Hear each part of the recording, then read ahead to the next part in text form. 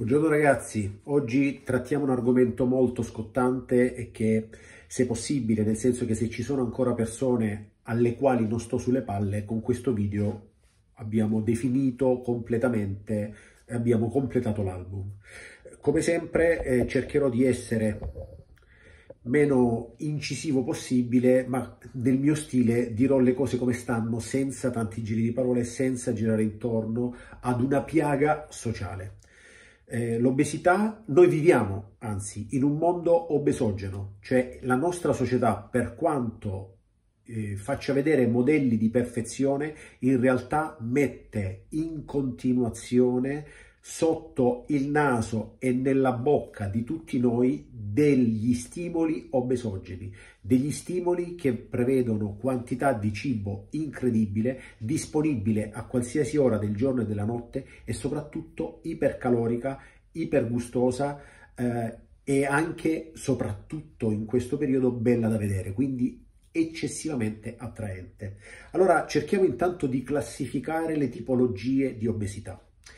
Quali sono i parametri che si utilizzavano? Dico si utilizzavano perché ormai è desueta ed è obsoleta questa misurazione. La BMI, cioè attraverso una bilancia impedenziometrica la percentuale di grasso, che però è un modo ormai troppo vecchio per calcolare gli indici. Come più volte ho detto, se un culturista che ha il 5% di grasso sale su una bilancia impedenziometrica, secondo quei parametri risulta obeso, perché magari è alto 1,80 m, pesa 140 kg, però ha 120 kg di muscolo e ha il 5% di grasso, quindi non sono ormai più dei, dei parametri da poter prendere in considerazione. Quindi esistono degli obesi sani. Quante volte voi avete parlato o siete voi stessi delle persone obese che però hanno degli esami del sangue perfetti.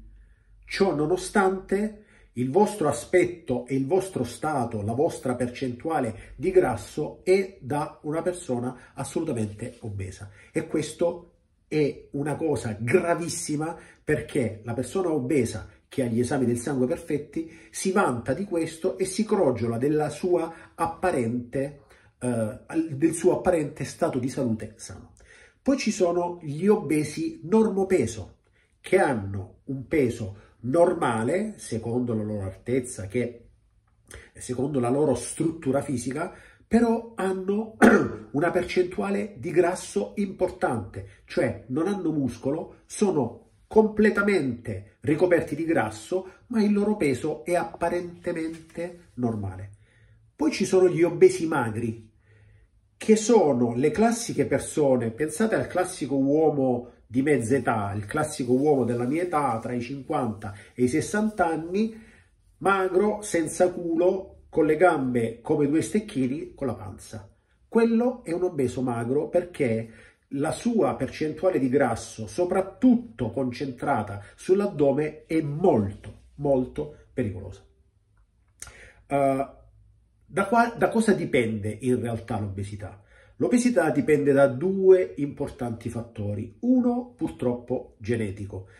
Ci sono degli studi che eh, dimostrano che fattori genetici, quindi genitori obesi, mettono al mondo figli con l'epigenetica, quindi con una genetica unita a quello che vedremo dopo, a un ambiente che è propedeutica e favorevole all'obesità. Quindi è quasi scontato che figli di genitori obesi siano obesi anch'essi, proprio per un patrimonio genetico di adipociti, metabolico, che porta all'obesità. Un altro fattore molto importante determinante è l'ambiente in cui si vive. Ecco perché si parla di epigenetica, quindi si parla di genetica unita all'ambiente ed è un fattore molto importante.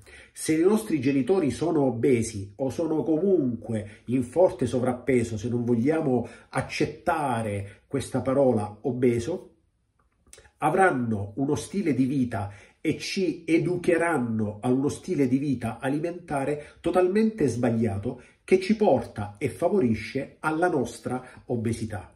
Pensiamo al modo di educare eh, che si utilizzava un tempo dove il cibo non si butta, quindi porzioni abbondanti e tu devi mangiare tutto, devi finire tutto il fatto che molto spesso queste persone ovviamente non mangino per, un pro, per, una regola omeostatica, cioè di equilibrio, mangio perché devo vivere, quindi utilizzo il cibo come carburante per il mio corpo, no, mangio per il piacere di mangiare. E quindi anche un normale pranzo di un giorno feriale, non il pranzo della domenica, prevede l'antipasto, il primo, il secondo, il contorno, il vino a tavola non deve manda- mancare e chi più ne ha più ne metta. Quindi predomina il gusto e non il fatto che il cibo debba essere principalmente un modo per far funzionare al meglio la nostra macchina corpo umano.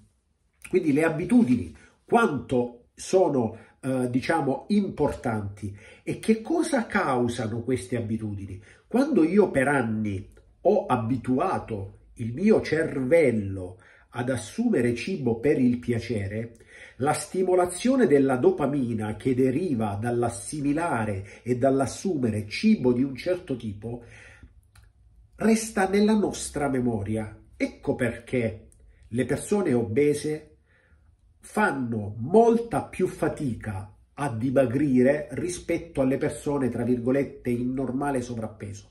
Non tanto perché uno debba perdere 50 kg e l'altro ne debba perdere soltanto 10, ma perché la persona che deve perdere 50 kg ha vissuto sempre a contatto e in un ambiente di un certo tipo e ha nella propria memoria impresse determinati concetti e determinate abitudini e determinate reazioni chimiche all'interno del nostro cervello che lo pongono di fronte a sacrifici disumani per poter dimagrire.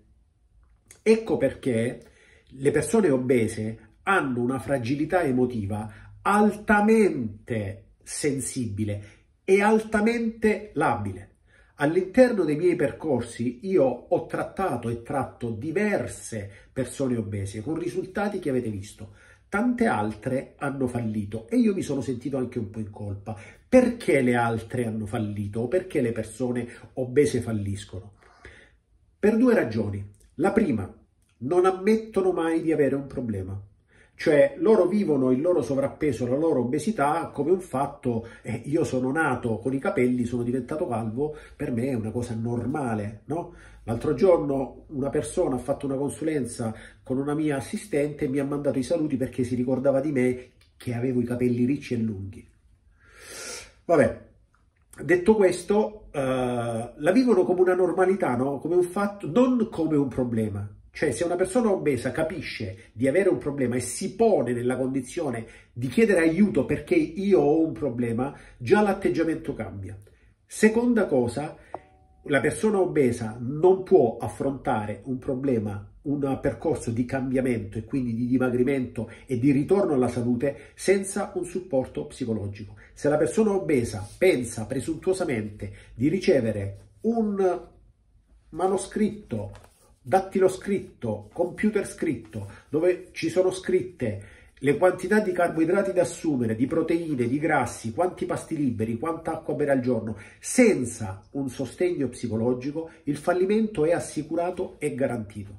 È necessario fare un percorso sinergico dove, nel mio caso, io mi occupo soprattutto dell'aspetto psicologico, quindi delle call personalizzate, un percorso personalizzato. Ma tutte le persone che non hanno aderito a questo percorso, che hanno pensato di dire ma provo due mesi, vediamo come mi trovo, hanno tutte fallito. Ma non perché la strategia non abbia funzionato, perché come al solito manca un supporto fondamentale che è quello mentale. Senza di quello, purtroppo, non si arriva da nessuna parte. Fanno fatica anche le persone che devono perdere 5 o 6 kg a farlo senza un sostegno, senza un supporto. Figuriamoci chi ne deve perdere 50 o 60 che magari da 10, 20 o 30 anni combatte purtroppo con questa malattia. Noi siamo a disposizione per chiunque voglia avere informazioni info chiocciola claudiomazzone.com. Buona vita.